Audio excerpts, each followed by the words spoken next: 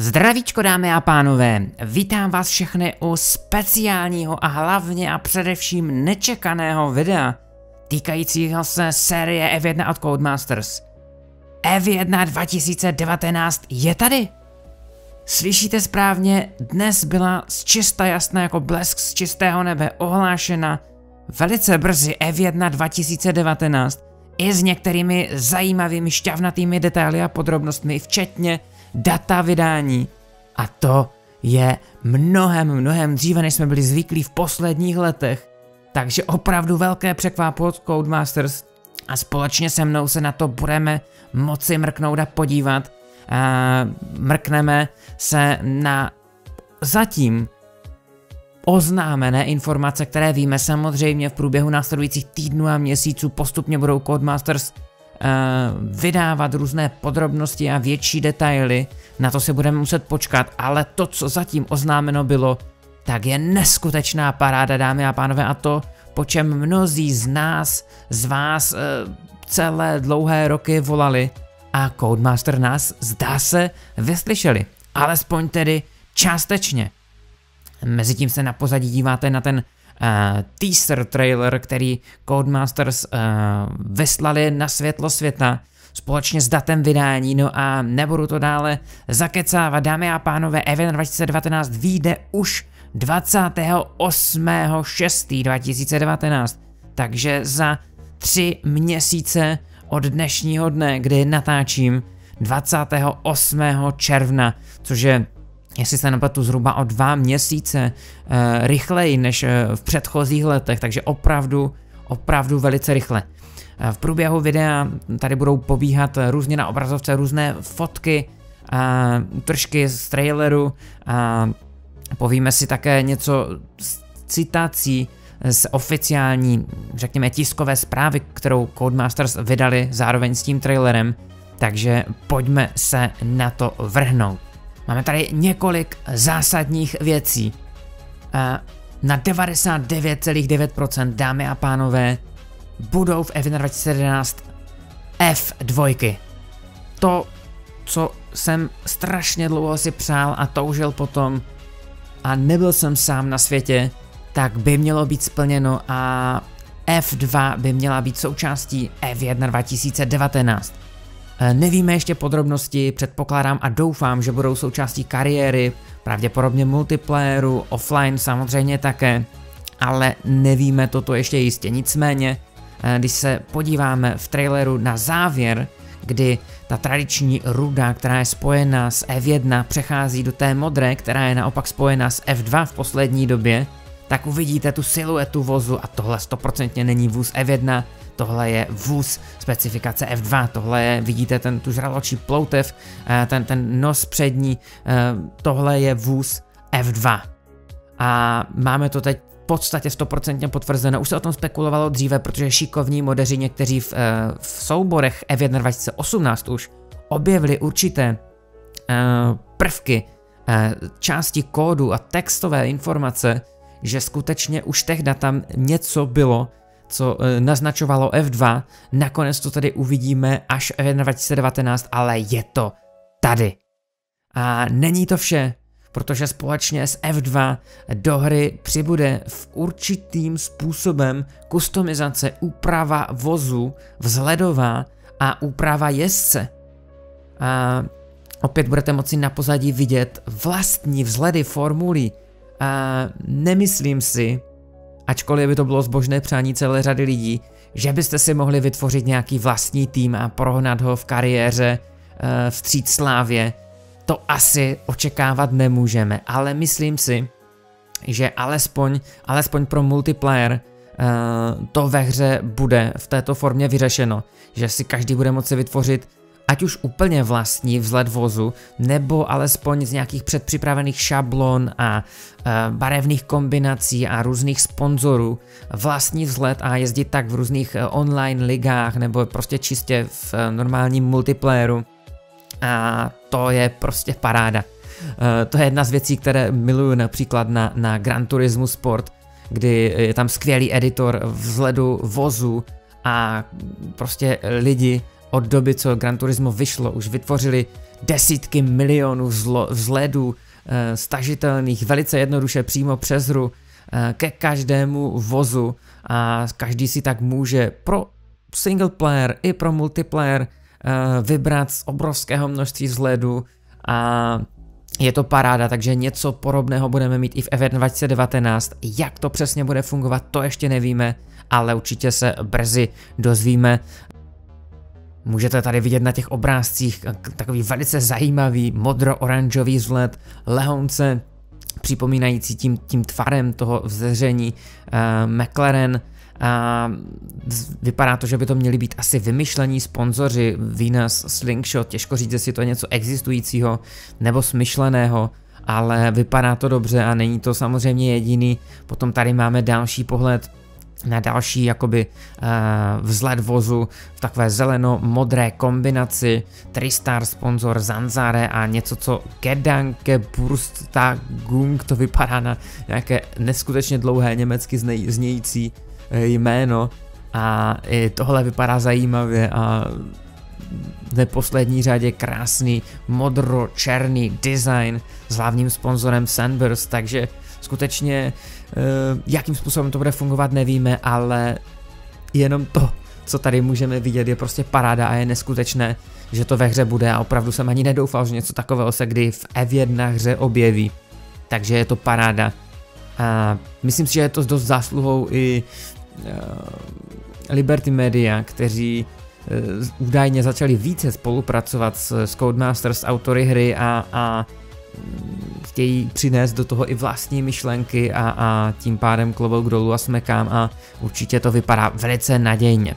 Dále vás také bude zajímat, že ve spolupráci s technickým týmem F1 vedeným samotným Rossem Bronem a Patem Simonsem eh, bylo právě s Codemasters vytvořeno Eh, generické F1 uh, eh, auto, prostě formule F1 ve specifikaci dle regulí 2019, čili všechny ty změny, které proběhly v oblasti uh, bočnic, v oblasti předního křídla a tak dále, tak vše tohle obsahuje, ale není to jakoby žádná kopie některého ze skutečných týmů, čili není to vůz v designu Ferrari, uh, Racing Pointu, Mercedesu, čehokoliv, je to prostě vůz, který splňuje ty regule a mohl by v sezóně 2019 fungovat a působit, ale bude odlišný od všech týmů. A proč je to zajímavé zvláštní? Kvůli multiplayeru.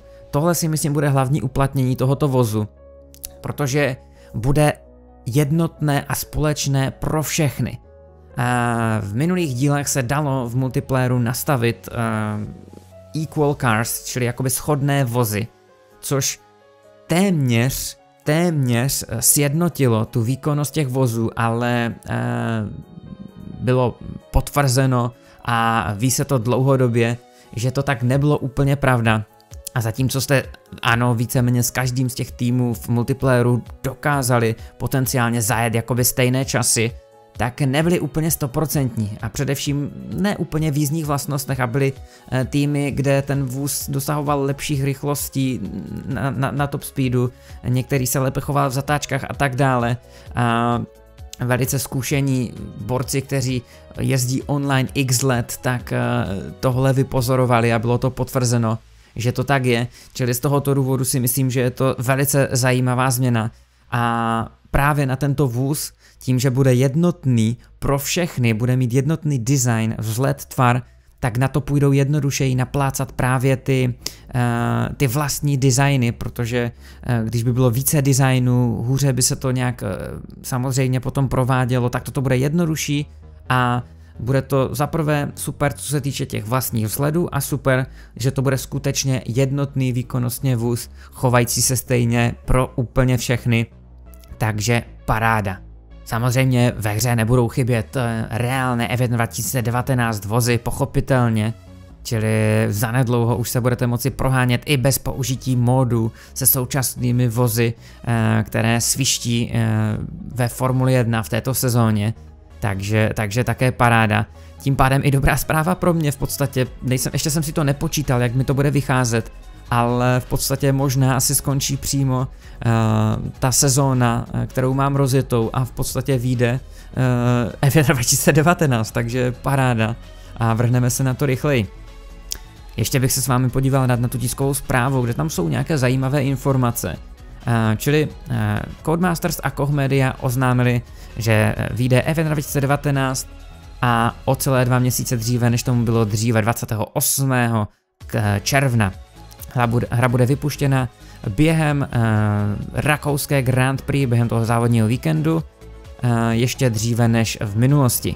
F1 2019, a tady pozor dámy a pánové, tohle je třeba zajímavá informace. F1 2019 byla ve vývoji už po dva roky, což ji činí nejambicioznějším titulem uh, v historii této série a bude spuštěna na PlayStation 4, na Xbox One, a Xbox One X a Windows PC přes Steam. To je zajímavé. Tady to může být lež a může to být pravda. Uh, může to být pravda, mohli ji vyvíjet současně s tím, co pracovali na F 2018, potažmo možná 2017. A dělali to tak jakoby bokem, a nebo to může být lež, protože uh, to vydají dříve a aby lidi neříkali, že hm, to bude uspěchané a to budou mít nedodělané a budou to zabagované, tak aby to nevypadalo negativně, tak oni vydají zprávu, že jo, už na tom pracujeme dva roky a, a tím pádem to bude úplně super, nejlepší, co, co kdy bylo.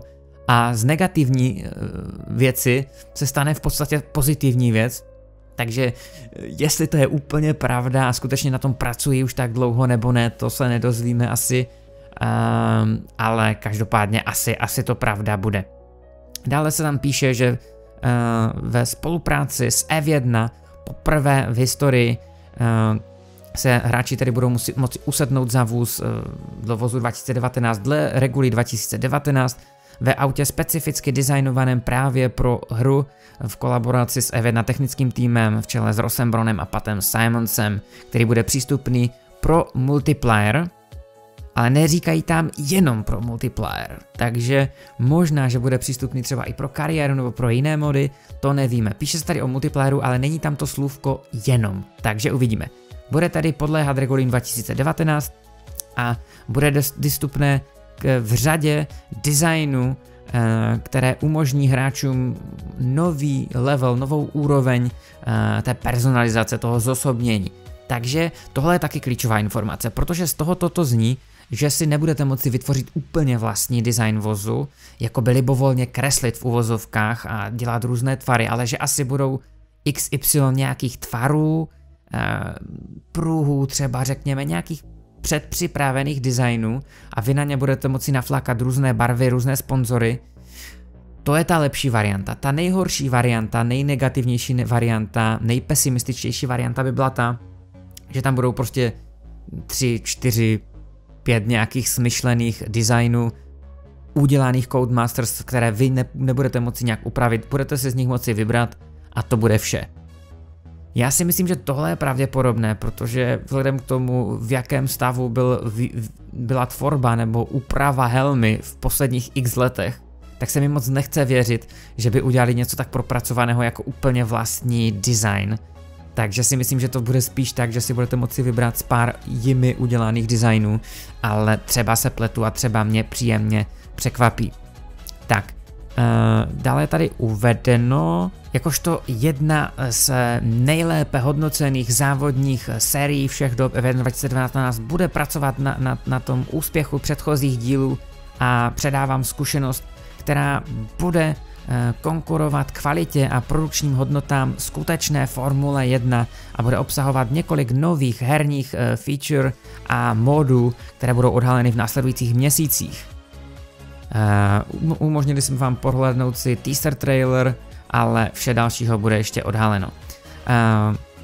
Tohle je zajímavé, protože zatím se může skrývat informace, že když bude skutečně jakoby v uvozovkách kopírovat uh, skutečnou Formuli 1, že třeba se ve hře objeví i reálná televizní grafika a, tak dále. Čili i to je možné. No a ještě tady je dovětek, že jsme absolutně potěšeni že jsme mohli, že můžeme vydat F1 2019 dříve během F1 sezóny, takže si hru budete moci užít eh, mnohem, mnohem dříve, eh, říkal Paul Gilles, což je jeden z hlavních tvůrců Codemasters. Naše blízké spojení s F1 uh, hrálo klíčovou roli v dosažení tohoto cíle pro naši sérii. Tohle a navíc téměř dvouletý vývojový cyklus nám umožnil vytvořit některé z nejúžasnějších feature a novinek pro, pro tuhle sérii a nemůžeme se dočkat, až že budeme moci si s vámi o ně podělit. Takže uvidíme. Společně ve kolaboraci s Rosem Bronem a Patem Simonsem jsme vytvořili novou úroveň uh, personalizace uh, pro F1 2019 tím, že jsme tedy vytvořili to nové auto a hráči budou mnohem více moci kontrolovat uh, aut, v, v, um, kustomizaci, úpravu auta a jezdce. Tohle je další zajímavá informace, protože tam je úprava auta and driver a jezdce. Což znamená, že bychom se mohli dočkat také nějakého vylepšení, co se týče tvorby toho vlastního jezdce, ať už možná více obličejů, více nějakých účesů možná, nebo více helem, to uvidíme, to zase může být jenom takové lákadlo PR a nemusí to být úplně pravda, ale zní to všechno parádně. Každopádně, dámy a pánové, co říkáte? Co říkáte na tuhle nečekanou zprávu? Podělte se se mnou vaše názory, o vaše myšlenky, o vaše přání. Jak si myslíte, že to bude fungovat, že to nebude fungovat? Uh, splní Codemasters tyhle sliby a bude to skutečně taková paráda? No, nemůžu se dočkat. Určitě, když se dozvíme nějaké nové informace další, tak se o ně s vámi pokusím co nejrychleji podělit. Každopádně pro, tehle, pro tohle video to bude vše. Já vám tady moc a moc děkuji, eh, pokud jste na tento kanál dorazili náhodou a vidíte to jako první video, určitě mrkněte na můj rozjetý let's play kariéry v F1 2018, kde už jsme ale v druhé sezóně, tedy 2019 a máme tam skutečné jezdecké změny, tak jako v reálné F1 a tak dále.